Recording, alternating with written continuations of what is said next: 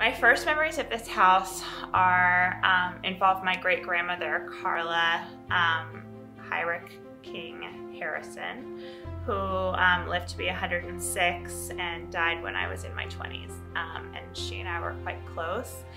And um, I remember walking around this house with her and hearing all of her stories of know, growing up here. She was born here, but then also growing up here, getting married here, coming back to visit. Um, and then my grandmother's stories of coming here every Sunday for lunch and um, just all of the all of the rich family history. My name is Adela Griswold and I am Christian Heurich's great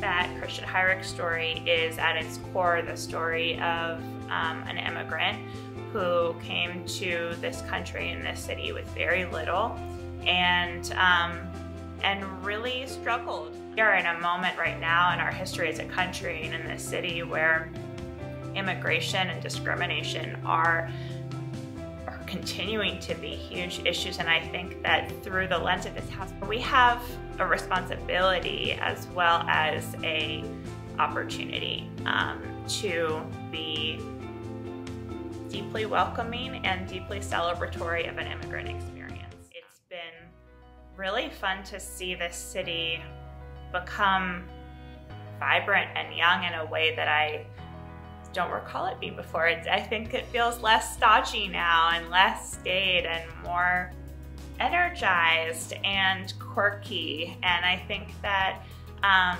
that this house has a way of uh, pulling all of that together. I mean, obviously, there's not a lot that's that's young and vibrant in the walls and the furniture and the decor here, but the energy that Washingtonians bring to this space is very much that. There are so many opportunities to, for the melding of old and new to happen in this space um, that I think is pretty pretty unique in the city um, based off of where we are geographically, as well as um, just what we have to offer as a, um, a cultural landmark and hub. You know, the fact that we have made it a point to work with DC artisans and we've got all these DC brewers and, um, you know, locals who walk by the house who for years just sort of thought, oh, that's a cool looking old Victorian structure um, and then finally make it in, whether it's for an event like the Christmas market or they come in and, and have a beer during a 1921 happy hour. I can't help but feel like Christian Heurich would be unsurprised. He was clearly really a visionary in, in his business and, you know, knowing the story of how he you know, emigrated to this country from Germany and, and what he was able to build here, I think he clearly had a level of, of foresight and imagination that were um, extraordinary. I think there are so many things about what this space is right now that would be either surprising or perhaps shocking to him. When I think about my great grandmother, Karla, I think that she would be really proud of what we've been able to do in terms of keeping some of these stories alive and engaging the community. She was an artist and cared deeply about um, education.